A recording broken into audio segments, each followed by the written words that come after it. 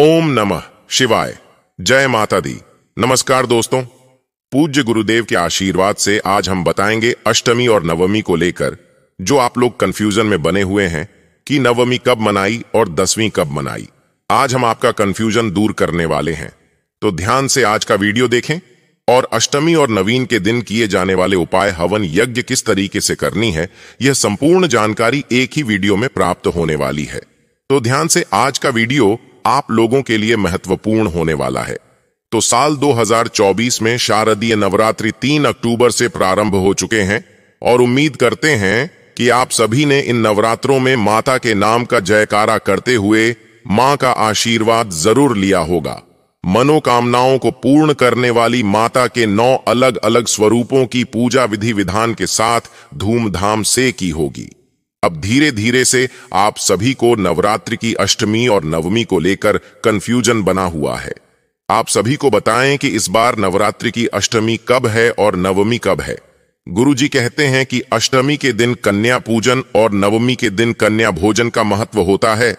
तो ऐसी में आप सभी को कन्या पूजन कब करना है और कन्या भोजन कब करना है। तो ध्यान से देखिए, कन्या पूजन की अष्टमी के दिन कन्या पूजन किया जाता है तो माता का आशीर्वाद प्राप्त होता है। साथी कलर्स विसर्जन का और जो कलश में डली हुई सामग्री होती है, जैसे कि सिक्का, हल्दी की गांठ और ज्वारे का क्या करना है। सब कुछ आपको आज के खास वीडियो में प्राप्त होगा। गुरुजी ने कहा कि पूरा अंत तक वीडियो देखेगा। आपको पूरी जानकारी दी जाएगी। अधूरी जानकारी लेने की कोशिश ना करें। अधूरा ज्ञान हमेशा घातक होता है। तो अगर आप सच में माता की पूजा पाठ करने का फल प्राप्त करना चाहते हैं तो अंत तक वीडियो को देखिए और वीडियो में अष्टमी, नवमी के जो बारे में बताया गया है, उनके साथ साथ माता की उपायों को भी बताया गया है, उनको भी ज़रूर से करेगा। और वीडियो को आगे देखने से पहले आप सभी से निवेदन करना चाहूँगा कि आप वीडियो को लाइक करके चैनल को सब्सक्राइब ज़रूर कर दीजिएगा। भोले के भक्तों आप सभी को आने वाले दशहरा की हार्दिक शुभकामनाओं के साथ बताएँगे कि दशहरा कब है। अभी तक आपने शिव कृपा उपाय चैनल को अपना नहीं बनाया है तो अपना सदस्य ज़रूर बनाएँ और वीडियो में बनी रहिए। मेरे साथ उपाय के साथ में विशेष जानकारी को संजा करूँगा। वीडियो को देखने के बाद आपका कोई भी संशय मन में नहीं रहेगा। जरा ध्यान से सुनिएगा। भोले के भक्तों 10 अक्टूबर को अष्टमी का प्रारंभ दोपहर 12 बजे से होगा। और यहीं पर यह अष्टमी समाप्त होगी। 11 अक्टूबर को दोपहर में बारह बजकर सात मिनट पर। ऐसे में जो लोग अष्टमी करते हैं, यानी कि कन्या पूजन का जो दिन है, मासिक दुर्गा की अष्टमी का व्रत जो है, उन्हें कब करना है? तो जो भी अष्टमी सूर्योदय के साथ में होती है, वही रियल में मानी जाती है। एक घंटे के लिए भी सूर्योदय काल अगर आपको प्राप्त हो जाता है तो वही व्रत के लिए, पूजा पाठ के लिए सर्वोत्तम मानी जाती है। इसीलिए इस दिन मासिक दुर्गा अष्टमी का व्रत करते हैं तो उसे दिन व्रत करना होता है। जो सप्तमी युक्त अष्टमी का व्रत होता है, उसे कभी नहीं करना चाहिए। अष्टमी के साथ जो नवमी होती है, उसी का व्रत हम अष्टमी के लिए करते हैं। कन्या पूजन तब हम करते हैं तो सूर्योदय काल की अष्टमी के अनुसार ही करते हैं, जो कि 11 अक्टूबर 2024 दिन शुक्रवार को होगी। अब आपको समझ आया कि अष्टमी 11 अक्टूबर को है। कन्या का पूजन अष्टमी के दिन किया जाता है। अष्टमी के दिन कन्या पूजन करें और जिनके यहाँ नवमी के दिन कन्या पूजन होता है, वह नवमी के दिन करें। अपने यहाँ की रीति रिवाज का पालन करते हुए ही करें। अब आपके प्रश्न होते हैं, अष्टमी कैसे मनाए, नवमी कैसे मनाए? तो देखिए, अष्टमी, नवमी यह दो तिथियाँ अपने परिवार की परंपराओं के अनुसार मनाई जाती है। जैसे आपके परिवार में हो, साल 2024 में शुक्रवार को अष्टमी मनाई जाएगी और नवमी का देखिए, शारदीय नवरात्रि की नवमी तिथि 11 अक्टूबर को दोपहर बारह बजकर सात मिनट पर समाप्त हो रही है। तो 11 अक्टूबर को दोपहर दस बजे से सूर्योदय काल में नवमी हमें प्राप्त हो रही है। तो 12 अक्टूबर को शनिवार के दिन अगर आप चाहे तो 12 अक्टूबर को नवमी कर सकते हैं। नवमी को ही हवन कन्या पूजन किया जाएगा 12 अक्टूबर को भी कर सकती हैं, और 11 अक्टूबर को नौमी और अष्टमी दोनों तिथि मनाई जा सकती है। लेकिन दोपहर के बाद नवमी लग जाएगी। वैसे भी नवरात्रि में रात्रि का महत्व होता है तो नवमी तिथि की रात्रि हमें प्राप्त हो रही है 11 अक्टूबर को। जिस दिन शुक्रवार का दिन है और माँ सिद्धिदात्री की विशेष पूजा होगी 11 अक्टूबर शुक्रवार की रात्रि में होगी। इस बात का आपको ध्यान रखना। लेकिन सूर्योदय कालीन नवमी हमें प्राप्त होगी। 12 अक्टूबर को अब आपका यह कंफ्यूजन दूर हो गया होगा। कई लोग दसवीं में कन्या पूजन करते हैं, दसवीं में हवन करते हैं, नवरात्रि का समापन करते हैं तो 12 अक्टूबर को भी कर सकते हैं। वैसे 11 अक्टूबर को अष्टमी, नवमी आप दोनों मान सकते हैं। अगर आपके यहाँ अष्टमी का पूजन होता है तो आप 11 अक्टूबर को दोपहर से पहले कन्या पूजन, हवन इत्यादि कर लीजिए। और जिनके यहाँ नवमी मनाई जाती है, यानी कि नवमी को कन्या पूजन होता है, वह 11 अक्टूबर को दोपहर के बाद कन्या पूजन, हवन इत्यादि कर सकते हैं। अगर आप ऐसे में नहीं करना चाहते तो 12 अक्टूबर को कर लें। नवमी तिथि रहेगी। 12 अक्टूबर को साढ़े दस बजे तक आप अपनी इच्छा के अनुसार देख लीजिए। अब विजयादशमी और दशहरा कब है? आपके मन में यह प्रश्न आ रहा होगा। तो 12 अक्टूबर 2024 को शनिवार के दिन दशहरा है। इसी दिन रावण का दहन होगा। अब बात करते हैं कलश विसर्जन की। तो कलश विसर्जन दशमी को किया जाएगा। पूरे नौ दिन के बाद, जैसे कि आप नवरात्रि के पूरे नौ दिन की पूजा करेंगे और उसके बाद नवरात्रि का व्रत का पारण करेंगे। कलश विसर्जन के लिए आप लोगों के प्रश्न है कि अष्टमी होती है या अष्टमी के दिन कन्या का पूजन होता है, उसे दिन करें तो सबसे उत्तम जानकारी गुरु जी के अनुसार बताता हूँ।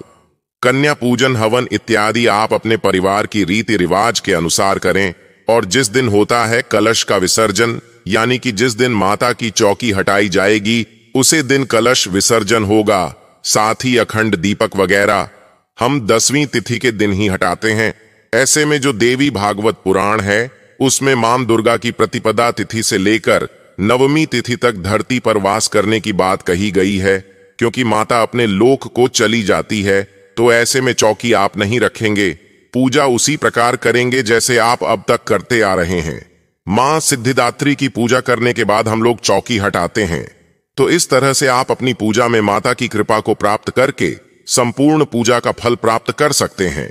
अगर आप आपकी पूजा को सिद्धि प्राप्त नहीं हुई है तो यह ज़रूरी है कि नवरात्रि की नवमी तिथि पर माता के नवे स्वरूप माँ सिद्धिदात्री की पूजा करके विधि विधान से आप मन की पूजा का फल प्राप्त करें। तभी तो आपकी मनोकामनाएँ पूर्ण होती हैं। माता के नौ स्वरूपों की पूजा नवमी तिथि पर समाप्त होती है। इसीलिए माता सिद्धिदात्री की पूजा करना अनिवार्य होता है। माता की चौकी कन्या पूजन कर लीजिए, हवन कर लीजिए, उसके बाद ही हटाए। या फिर आपके घर का जो नियम होता है, उसी के अनुसार हटाए।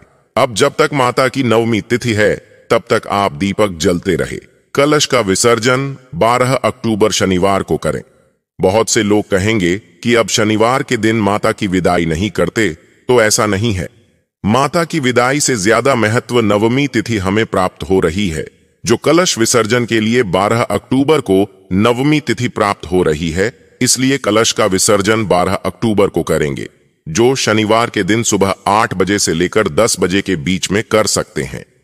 कलर्स, विसर्जन आप सभी सुबह सूर्योदय के साथ और सूर्यास्त होने से पहले करें। अगर आपके घर में ऐसा होता है कि दशमी तिथि के दिन गलत विसर्जन करना है तो आप अपने घर की परंपरा के अनुसार करें। अंतिम दिन कलश का विसर्जन करके नवरात्रि व्रत का पारण करना है। उससे पहले माता के नाम का जाप अगर आप कर पाए तो ज़रूर करें और माता की पूजा सामग्री को विसर्जित न करें।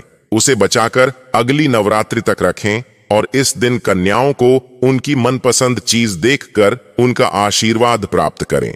और अगर आपकी विशेष मनोकामना है तो माता के मंदिर में जाकर हरी चूड़ी का दान करें। माता को सिंगार की सामग्रियाँ समर्पित करके किसी भी सुहागिन स्त्री या ब्राह्मण की पत्नी को यह सामग्री समर्पित करें। इस तरह से माता रानी प्रसन्न होती हैं, नवरात्रि की पूजा समाप्त होने पर विधि विधान से विसर्जन करें, फिर माँ भगवती के नौ रूपों का ध्यान करके कलश की पूजा कर, धूप दीप जलाकर मूर्ति का विसर्जन करें। नौ दिन में की गई व्रत की पूजा पुण्य सभी प्राप्त होता है और अपनी गलतियों के लिए क्षमा ज़रूर मांगे। और माता के मंत्र हीम किलीम चामुंडाए विछे। अब क्लेश के ऊपर रखे नारियल को धीरे से उठाकर, नारियल को लाल चुनरी में बांधकर अपने घर में रख दे या अपनी माता बहनों को दे। नारियल को जल में प्रभावित कभी ना करें। कुछ लोग मंदिर में रखते हैं तो कुछ लोग कन्या पूजन में प्रसाद स्वरूप में बांट देते हैं। आपके घर का जो नियम है, वैसे ही आप उसका पालन करें। अगर आप मंदिर में रखना चाहते तो रख सकते हैं। अन्यथा हमारे यहाँ पर गुरुजी कहते हैं कि नारियल को प्रसाद स्वरूप बांटा जाता है तो आप इस तरीके से कर सकते हैं। अब कलर्स में जो आम के पत्ते हैं या अशोक के जो भी हैं, और जो जल है, उसका छिड़काव उन पत्तों से पूरे घर में करने से घर में सुख, शांति और माता का आशीर्वाद और घर की बरकत होती है तो जल का छिड़काव करें और सभी बुरी शक्तियों को घर से बाहर करें। वैसे तो घर में माता की नौ दिन जो ज्योति जली है उसे आपके घर में कोई बुरी शक्ति नहीं रही होगी। फिर भी आप इन पत्तों से जल का छिड़काव पूरे घर में करें। अब कलश का सबसे सुंदर उपाय, पहले रसोई घर में जल छिड़के अपवित्र जगह पर जल को न रखें। जो भी जल बचा है उसको तुलसी के पौधे में नहीं डालें, किसी अन्य पौधे में डाल दें। माता की पूजा में तुलसी पत्र नहीं चढ़ाए जाते हैं। इसलिए हमने जो कलश की पूजा की है, कलर्स के अंदर जल रखा हुआ है माँ भगवती के नाम से हमने स्थापना किया।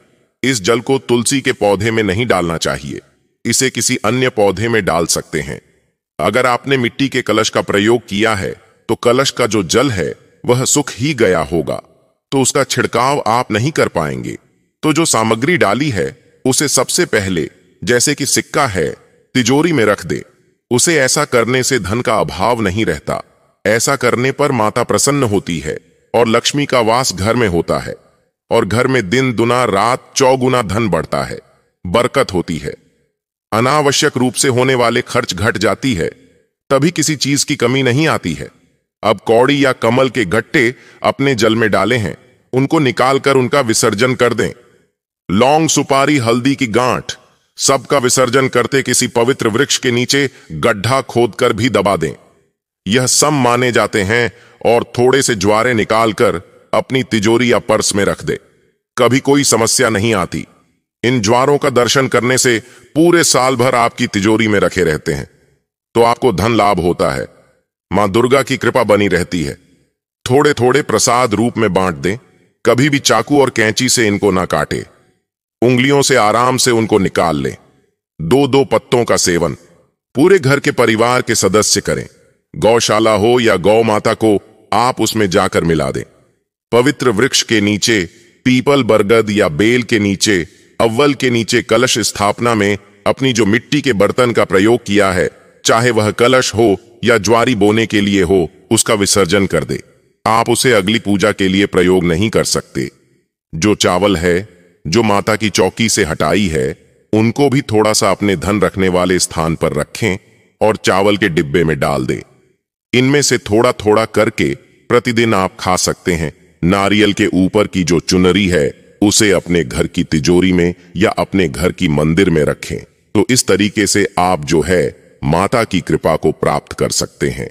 अब चलिए, कुछ विशेष उपाय कोई जानते हैं, जो माता के निमित्त किए जाते हैं, जो कुछ जय गुरुदेव हमेशा बताते हैं। अगर आपके घर में बहुत ज़्यादा परेशानियों का सामना करना पड़ता है तो इस दिन बेल वृक्ष के नीचे एक घी का दीपक जलाकर आए। माता को लौंग के फूलों की माला समर्पित करें, या फिर आप फूल वाली लोगों की एक सौ आठ माला बनाएँ, यानी एक सौ आठ फूल की लौंग लेकर उसकी माला लाल धागे से बनाकर माता के मंदिर में माँ को समर्पित करने से मनवांछित इच्छा पूर्ण होती है। मान लीजिए, कोई कार्य सफल नहीं हो रहा तो नवरात्रि के अंतिम दिन एक ही रंग के पुष्प लेकर नौ रंग के पुष्प होनी चाहिए। नौ की संख्या में माता को समर्पित करें। अंतिम दिन माता की मूर्ति को अच्छे से सजाकर और अपनी मनोकामना बोले।